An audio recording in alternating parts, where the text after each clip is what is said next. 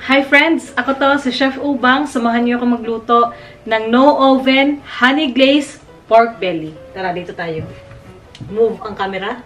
Char, para may director. Ako rin naman yung gagawa. Di ba? Yan. Nandito ako ngayon sa bahay ng biyanan ko. Pork belly, mahigit isang kilo. Hiwain ko to sa gitna. Hugasan ko lang.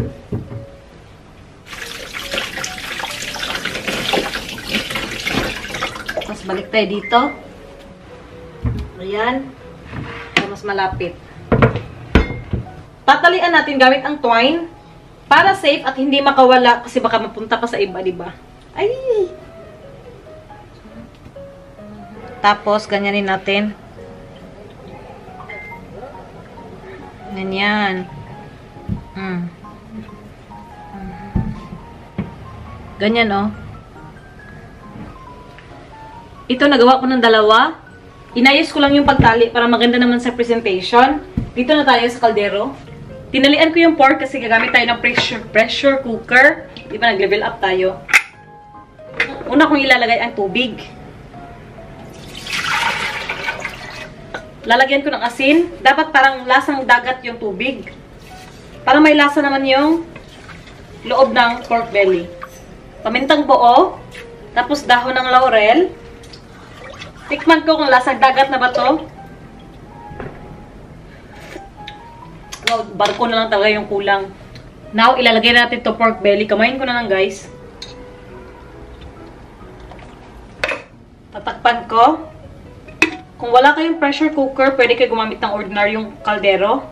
Pakuluan nyo lang ng dalawang oras sa mahinang apoy hanggang lumambot yung pork belly, no? Pero tayo, mag-level up tayo ngayon.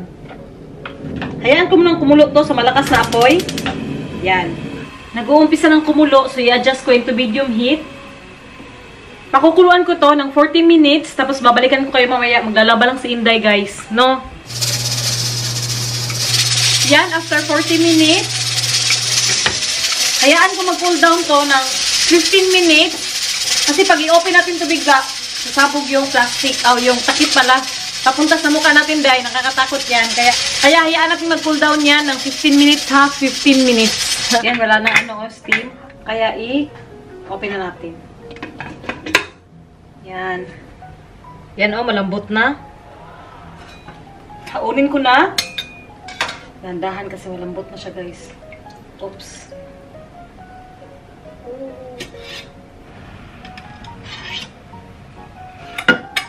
Ito na, oh, malambot na talaga. I-cool down ko lang to, no? Tapos bago ko ilagay sa chiller, dyan lang muna yan. Okay na to. Lagay natin sa chiller.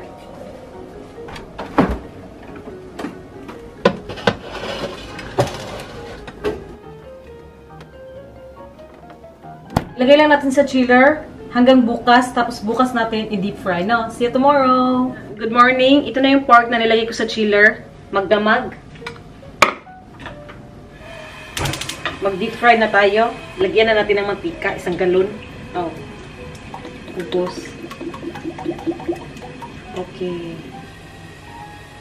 Tagalin ko na lang itong twine. Yung balat, tusukin natin ang toothpick. Para ma-achieve natin yung malachicharo na balat. Tapos mag-rub tayo ng rock salt. Ayan. Balik tayo dito. Hahay. Subukan ko kung lulutang na ba. Wala pa. Ay, lumutang na. I-fry na natin hanggang maging golden brown.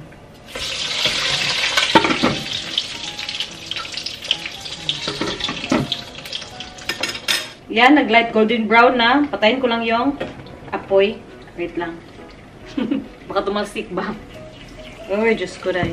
Yan oh, totally deep fry. Haunin ko muna, tapos i-fry natin ulit mamaya.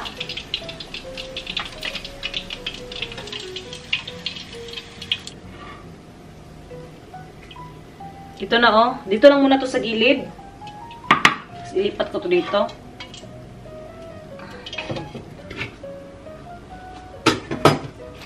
Dito na tayo sa sauce. Siyempre, unahin natin ang honey. Kung wala kang honey, Babe na lang yung gamitin mo. Corny. Toyo. Cooking wine. Kung wala kang cooking wine, pwede ka gumamit ng rum or tanduay. Tapos paminta. Ah. Haluin natin. I-adjust niyo lang ang honey at toyo sa swak ng panlasa natin. Ito. Ay, okay na. Dito tayo. Kawali.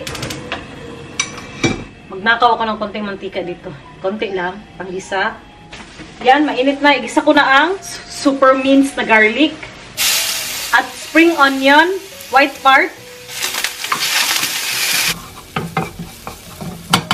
Lagay na natin tong sauce na gawa natin. Lalagyan ko ng hot water. Kung wala kang hot water, pwede naman malamig. Kukulo rin naman yan, no? Konti lang. Hayaan natin ito mag-simmer at mag-reduce hanggang maging sticky. Ilipat ko dito. Yan. Kasi papainitin na ulit natin itong mantika. Para sa double frying. Magalin natin to. Ayan, oh, nag-simmer na at nagsisimula ng maging sticky. Pero dyan lang muna yan. Mainit na itong mantika, so i-fry na ulit natin itong mga baboy. Mga baboy, good ay. Grabe na term. Okay. Paurin ko na to. Dito lang muna para tumulo saglit yung mantika, no? Ito na guys, oh. Tapos, lalagay natin dito. Lipat ko lang to. Hirap ng buhay, guys. Yan. Lagay natin tong pork. Yan. Ito rin isa. I-glaze na natin. Ganyan. Yan.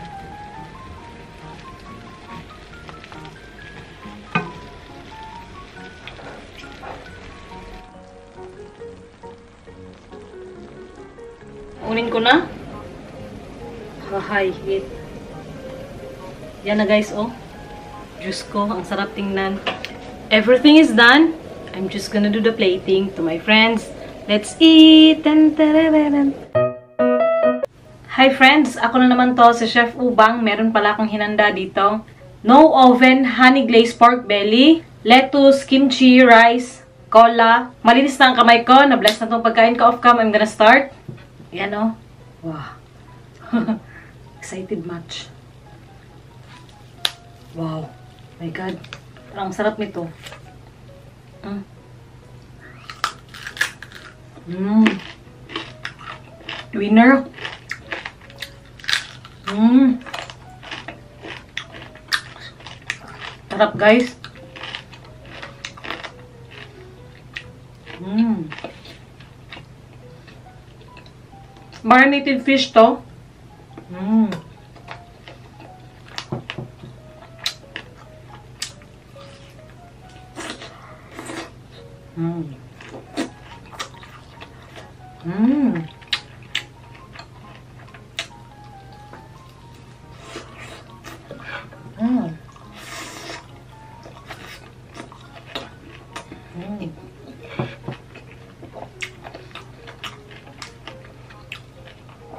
Nandito ako sa kwarto ngayon.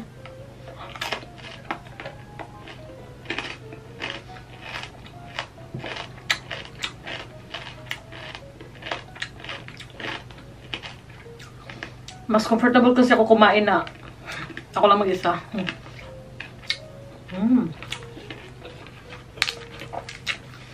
Gutom ako eh. Try nito oh, ang sarap. Sarap lang nito no?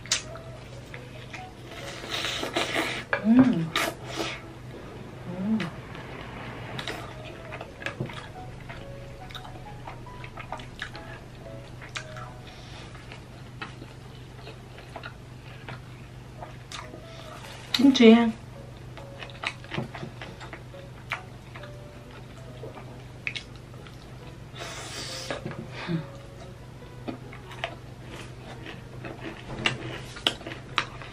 Sarap na to guys.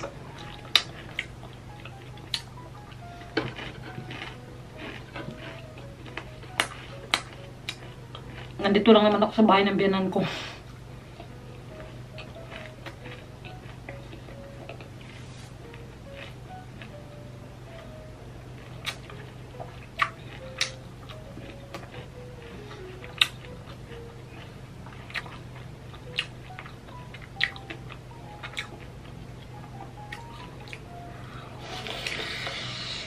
嗯。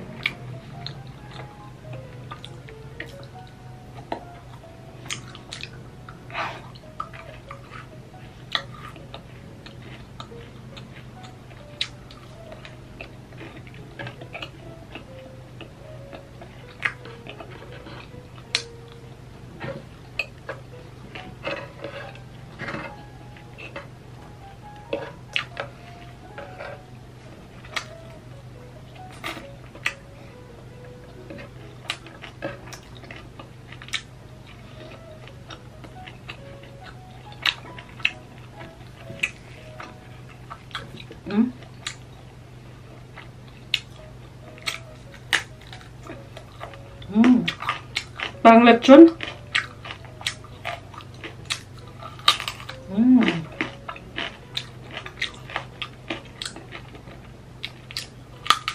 Wow. Sarap guys.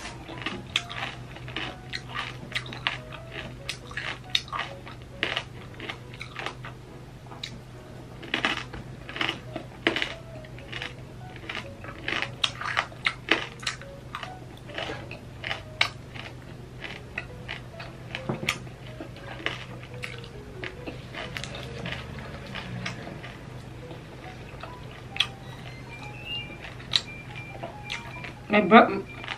Dito na yung binan ko. Lumating na.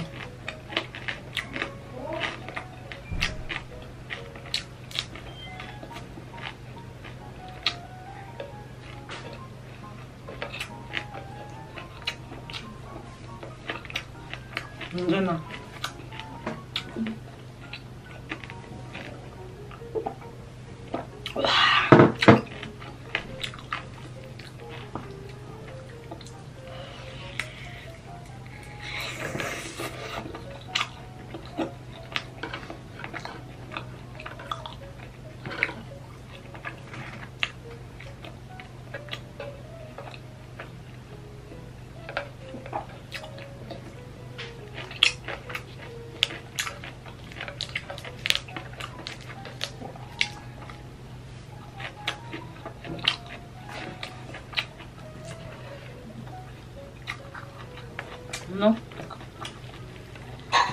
Ano ito ba?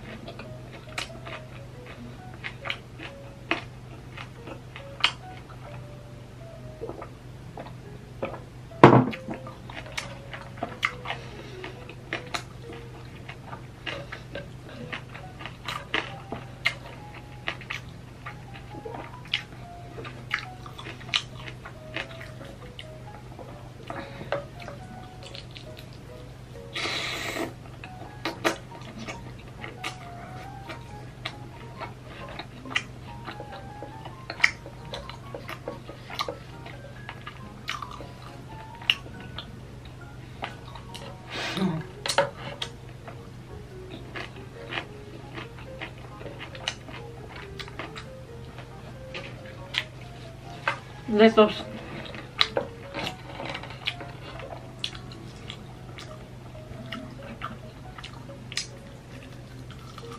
Okay. May buto ata to. Meron to. Meron nga. Hmm, ka? Ano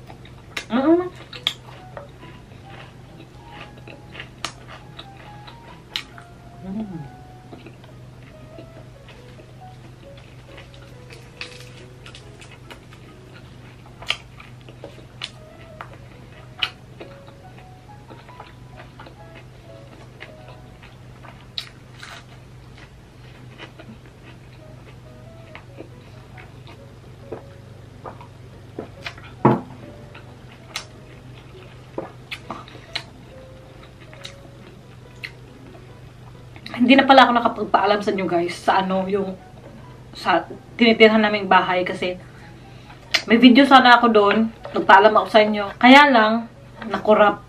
Nawala yung video ko kasi nasira yung memory card.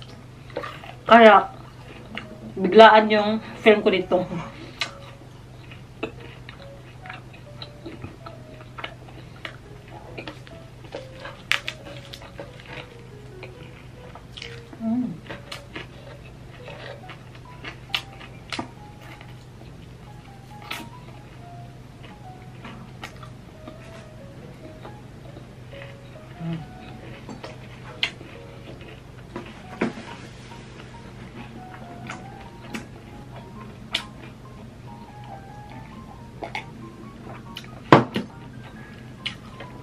Ito guys. Mamaya na yan. Busog na ako eh. Busog na busog na si Inday.